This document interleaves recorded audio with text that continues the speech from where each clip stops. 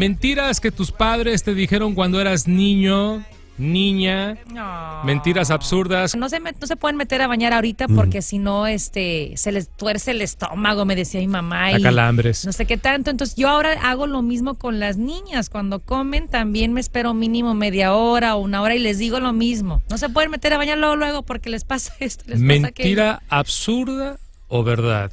Déjate digo lo que dicen los expertos. No hay duda de que el agua es un peligro para los niños en cualquier momento, dicen los expertos, pero comer no exacerba ese peligro. Una mejor razón para que esperen para ir a la piscina después de la cena, platos. Lavar platos. Exacto. O sea, laven los platos y luego, y, y sir- sirve que, ¿verdad? Pues hacen ahí digestión y luego al agua.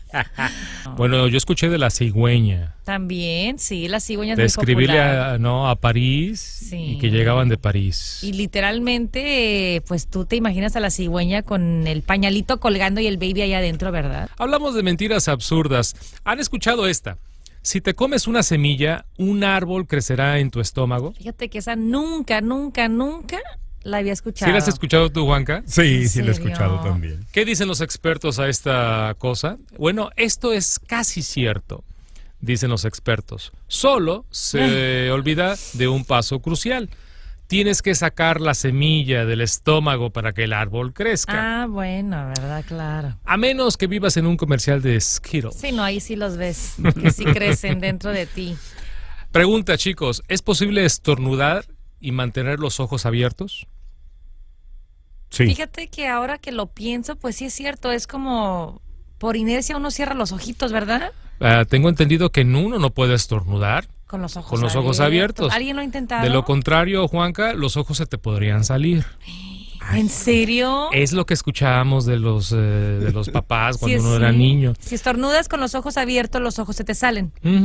La mayoría de las personas cierran sus ojos de forma natural, como tú lo mencionas, Argelia, cuando uno Sí. estornuda, pero si los mantiene abiertos, aunque la presión arterial detrás de sus ojos está técnicamente elevado, sus ojos no se saldrán de su No, cabeza. pues están bien, están bien agarraditos, ¿no? Bien agarraditos y bien prendidos. Ah, Uno que me decían mucho mi mamá es la de no se pueden comer el chicle, no se lo vayan a pasar, porque si se lo pasan va a estar en su estómago pegado. Mi mamá nos decía que toda la vida. se pegan las tripas, eso es cierto, Nos ¿eh? decía, se les va a quedar ahí toda la vida y se les va a podrir y eso va a estar horrible. Entonces yo me imaginaba algo negro, oscuro por años. Entonces sí, siempre sacábamos el Y vienen chicle. las úlceras y todo lo demás. Sí, no, no, no, no, pero parece que también sí son mentiras, ¿verdad? Cuando uno se traga el chicle, el estómago simplemente lo va empujando junto con cualquier otra cosa extraña, ¿verdad? ¿Serio? Todo lo que entra sale, prácticamente. Pero sale muy chicloso, ¿no, mi Eo. querido Juan?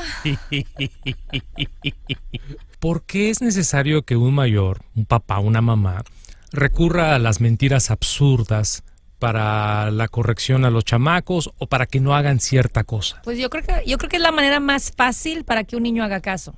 Porque si le explicas a un niño, no, no te comas ese chicle, no, no puedes este est- estornudar con los ojos abiertos. Yo creo que es para evitar explicaciones ya, o quizás los papás no sabían dar una explicación detallada y lo más fácil era siempre asustar. Porque todo eso es para asustar a los niños. Me quedo con asustas la al segunda. niño, asustas al niño para evitar que el niño haga Sí. como mete, como nos dijo nuestra amiguita, meter sus deditos al, ahí al do- donde va el enchufe de la electricidad. Pero es como la historia del lobo, ¿no? De que ahí viene el lobo y mentía y mentía y Sí. cuando ya dijo la verdad nadie le creyó. Claro, como la mentira de mi mamá y mi abuela, tienes que tender tu cama cada mañana porque si no el diablo se revuelca en ella. Entonces yo ahí sí me metió el mío desde niña. Entonces todos los Todavía. días y hasta la fecha tiendo mi cama en la mañana porque sí creo que un mal espíritu o el diablo se puede revolcar Sí, en ella. O sea, no. me imagino el diablo revolcándose en mi cama, pero sí siento que ya se, ya se me, me quedó de por vida ese trauma y ese miedo de una posibilidad de que llegue el diablo a visitar. Cada rato lo escucho. Y ahora se los está metiendo a las niñas.